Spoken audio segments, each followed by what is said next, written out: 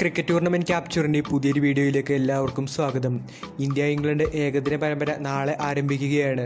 ഉച്ചതിരിഞ്ഞ് ഒന്ന് മുപ്പത് മുതലാണ് മത്സരം ആരംഭിക്കുക. ഈ മത്സരവുമായി ബന്ധപ്പെട്ട വാർത്തയും ഐ പി എല്ലുമായി ബന്ധപ്പെട്ട ഒരു വാർത്തയുമാണ് വീഡിയോയിലൂടെ നിങ്ങളുമായി പങ്കുവയ്ക്കുന്നത്. അതുകൊണ്ട് തന്നെ വീഡിയോ നിങ്ങൾ മുഴുവനായി കാണുവാനായി ശ്രമിക്കുക. ഇതുപോലുള്ള കൂടുതൽ ക്രിക്കറ്റ് വാർത്തകളും വിശേഷങ്ങളും ആദ്യം അറിയുന്നതിനായി മറക്കാതെ ഈ ചാനൽ ഇപ്പോൾ തന്നെ സബ്സ്ക്രൈബ് ചെയ്തു വെച്ചേക്കുക. വീഡിയോയിലേക്ക് കടക്കുന്നതിന് മുൻപായി ഫാൻസി ഗെയിമിങ്ങിലൂടെ മികച്ച ഏണിങ്സ് സ്വന്തമാക്കുവാനായി സാധിക്കുന്ന ഒരു ആപ്ലിക്കേഷനാണ് ഇന്ന് ഞാൻ നിങ്ങൾക്ക് മുന്നിൽ പരിചയപ്പെടുത്തുന്നത്.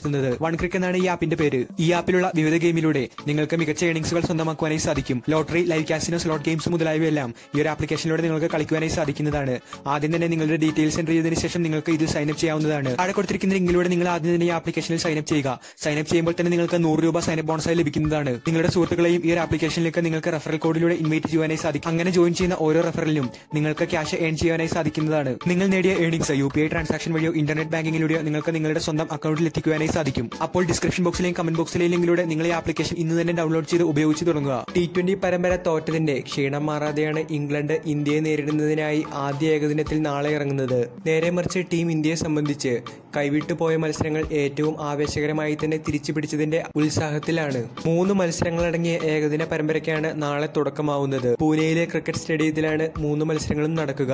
കോവിഡ് വ്യാപനം ശക്തമായി തുടരുന്ന സാഹചര്യത്തിൽ കാണികളെ പ്രവേശിപ്പിക്കാതെയാകും മത്സരങ്ങൾ നടത്തുക. ടെസ്റ്റ് പരമ്പരയും ടി ട്വന്റി പരമ്പരയും നേടിയ ഇന്ത്യ ഏകദിനത്തിലും കിരീടം നേടാനാകുമെന്ന പ്രതീക്ഷയിലാണ്. ഏകദിനത്തിൽ ഇംഗ്ലണ്ടിനെ താരതമ്യം ചെയ്യുമ്പോൾ കരുത്തരായ ഒരു ടീം ഇന്ത്യക്കുണ്ട്. മോശം ഫോമിലിരിക്കുന്ന കെ എൽ രാഹുലിനെ പുറത്തിരുത്തി ഏകദിനത്തിൽ രോഹിത് ശർമ്മയ്ക്കൊപ്പം ശിഖർ ധവാനെ തന്നെ ഓപ്പണറാക്കി ഇറക്കിയേക്കും.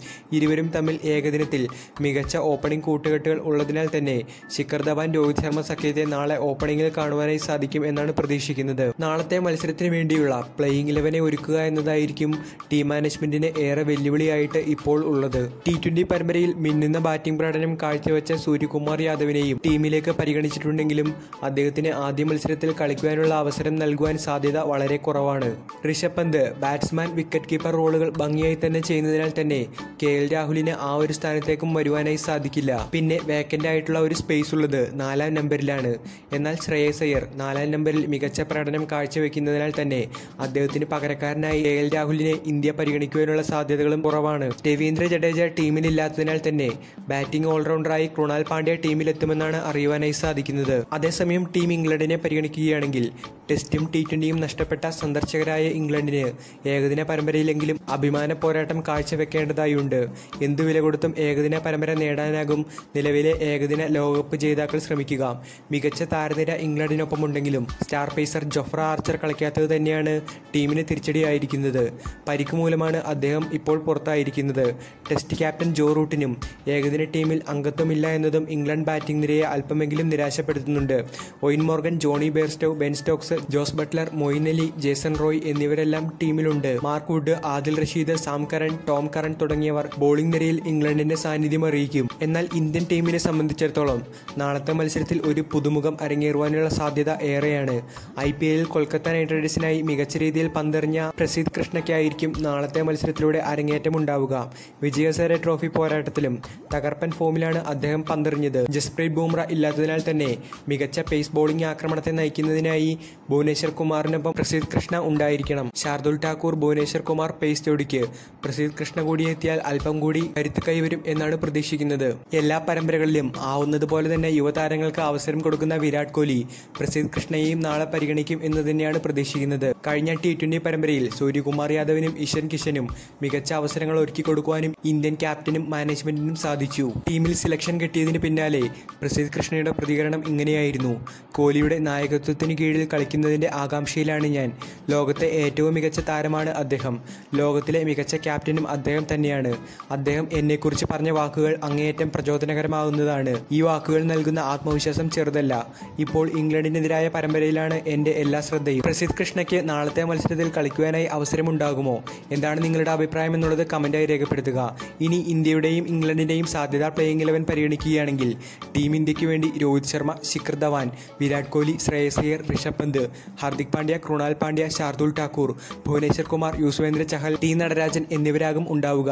ഇതിൽ യുസ്വേന്ദ്ര ചഹലിന് പകരക്കാരനായി പ്രസീദ് കൃഷ്ണ ടീമിലെത്തിയേക്കും. ഇനി ഇംഗ്ലണ്ട് നിരയെ പരിഗണിക്കുകയാണെങ്കിൽ Jos Buttler Liam Livingstone Jason Roy Jonny Bairstow Ben Stokes Eoin Morgan Moeen Ali Sam Curran Tom Curran Adil Rashid Mark Wood എന്നിവരടങ്ങുന്ന സാധ്യത പ്ലേയിങ് ഇലവനെ നമുക്ക് പരിഗണിക്കാം. ഇരു ടീമുകളും വിജയത്തോടെ തുടങ്ങുവാനായി നാളെ ഇറങ്ങുമ്പോൾ മത്സരം ഏറെ ആവേശകരമാകും എന്നതിൽ സംശയമില്ല. മറ്റൊരു വാർത്ത പുറത്തു വന്നിരിക്കുന്നത് ഐ പി എല്ലുമായി ബന്ധപ്പെട്ടതാണ്. ചെന്നൈ സൂപ്പർ കിങ്സ് തങ്ങളുടെ പരിശീലനങ്ങൾ ഏറ്റവും മികച്ച രീതിയിൽ തന്നെയാണ് മുൻപോട്ട് കൊണ്ടുപോകുന്നത്. ടീമുമായി ബന്ധപ്പെട്ട വൃത്തങ്ങൾ. സമൂഹ മാധ്യമങ്ങളിലൂടെ തങ്ങളുടെ ടീമിന്റെ പരിശീലന വീഡിയോകൾ പുറത്തുവിടുന്നുമുണ്ട്. രണ്ടായിരത്തി ഇരുപത്തി ഒന്ന് ഐ പി എല്ലിനെ സംബന്ധിച്ചിടത്തോളം ചെന്നൈ സൂപ്പർ കിങ്സ് ആരാധകർ ഉറ്റുനോക്കുന്നത് തങ്ങളുടെ തലയുടെ ഒരു തിരിച്ചുവരവിന് തന്നെയാണ്. രണ്ടായിരത്തി ഇരുപത് ഐ പി എല്ലിൽ മികച്ച ഒരു ഫോമിൽ കളിക്കുവാനായി എം എസ് ധോണിക്ക് സാധിച്ചിരുന്നില്ല. ഇതിനെല്ലാം പകരമായി തങ്ങളുടെ ക്യാപ്റ്റൻ കൂളിനെ ഒരിക്കൽ കൂടി മികച്ച ഫോമിൽ കാണുവാനുള്ള പ്രതീക്ഷയിലാണ് ക്രിക്കറ്റ് ആരാധകർ. എന്നാൽ ആരാധകരുടെ പ്രതീക്ഷ ഒട്ടും തന്നെ തെറ്റിക്കാതെ മികച്ച പ്രാക്ടീസ് സെഷനുകളാണ് ധോണി ഓരോ തവണയും കാഴ്ചവെക്കുന്നത്. ധോണിയുടെ സിക്സറുകൾ ഇതിനോടകം തന്നെ സമൂഹ മാധ്യമങ്ങളിൽ വൈറലായി കഴിഞ്ഞിട്ടുണ്ട്. കഴിഞ്ഞ ദിവസം നടന്ന പ്രാക്ടീസ് സെഷനിൽ ഒരു ഓവറിൽ തുടർച്ചയായ മൂന്ന് പന്തുകൾ ധോണി സിക്സർ പറത്തിയിരുന്നു. ഈ മൂന്ന് സിക്സറുകളും വെറുതെ ബൗണ്ടറി ലൈൻ മുറിച്ച് കടക്കുകയായിരുന്നില്ല. സ്റ്റേഡിയത്തിന്റെ അങ്ങേയറ്റത്ത് തന്നെയായിരുന്നു മൂന്ന് പന്തും പോയി പതിച്ചത്. ഏപ്രിൽ പത്തിനാണ് ചെന്നൈ സൂപ്പർ കിങ്സിന്റെ ആദ്യ മത്സരം. സി എസ് കെയുടെയും ക്യാപ്റ്റൻ കൂൾ മഹേന്ദ്ര സിംഗ് ധോണിയുടെയും മികച്ച തിരിച്ചുവരവിനായി നമുക്ക് കാത്തിരിക്കാം. അപ്പോൾ ഈ വീഡിയോ നിങ്ങൾക്ക് ഇഷ്ടപ്പെട്ടാൽ തീർച്ചയായിട്ടും ലൈക്ക് ചെയ്യാനും ഷെയർ ചെയ്യാനും മറക്കരുത്. വീഡിയോയെ പറ്റിയുള്ള നിങ്ങളുടെ എല്ലാ അഭിപ്രായങ്ങളും കമന്റായി രേഖപ്പെടുത്തുക. ചാനൽ ഇതുവരെ ആരെങ്കിലും സബ്സ്ക്രൈബ് ചെയ്യാത്തവരായിട്ടുണ്ടെങ്കിൽ ഇപ്പോൾ തന്നെ ചാനൽ സബ്സ്ക്രൈബ് ചെയ്ത് വെച്ചേക്കുക. അപ്പോൾ നമുക്ക് അടുത്തൊരു വീഡിയോയിൽ കാണാം.